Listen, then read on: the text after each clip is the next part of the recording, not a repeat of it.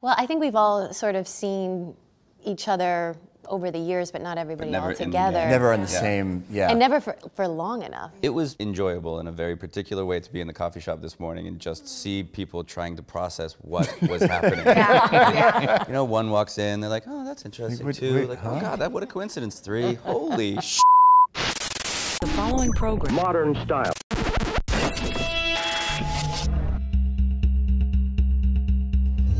I know. I was saying to my mom, I was like, I'm on my way to a reunion. She's like, but you can't do that. You, you, you're dead. I was like, it's a picture, not in a picture, mom.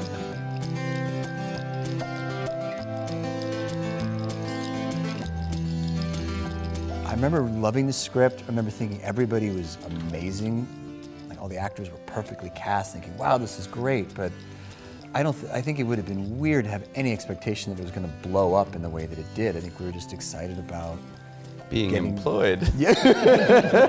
I was stoked to have a job.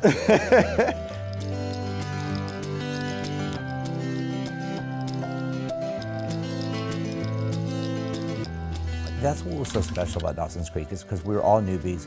I had never made a show before. The kids had never really didn't really have much experience with television or anything. I- I think, um, especially when we first started, I was still a teenager, and it was nice to read a script that felt like expressed things that I was still trying to understand and for myself. I enjoyed the fact that the, that you know being a kid at that time, playing a kid who wasn't an idiot or the like the precocious one. Like, he never insulted the audience by dumbing us down in order to be, rep, you know, believable teenagers. I loved that part. Agreed. I loved the In fact, he probably got the, the viewers hitting the dictionaries in every episode. Yeah, I mean, kids are smart. It was a magical experience. We were all living in Wilmington, North Carolina. We were all hanging out. We were going to dinner every night. We were going to the movies. We were just doing. We were just, you know, and it was interesting. We were just all a little tight little circle.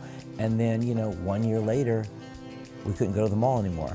I was so grateful that it was shooting in Wilmington. We all got to really connect on a way that I don't think we would have had we been New York or LA. And I felt like it was a family. Like I truly loved everybody and we had fun.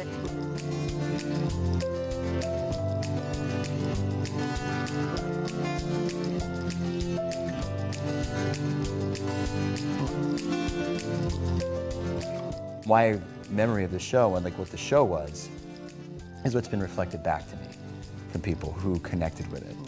And so tha- that's that's been the coolest thing is to see the, the, the resonance that it held with people. I want people to look back on Dawson's Creek and think of it the way the opening credit sequence um, existed, in in sort of a nostalgic montage of memories. And I'd love for people to look back on Dawson's Creek and go, boy, did I love watching that show. Boy, did that show entertain me during some really troubling years as a teenager. I love Dawson's Creek. I'm, I, you know, it's um, the fact that it's 20 years old and that we're still talking about it. I mean, I, you know, it it's very, very rewarding.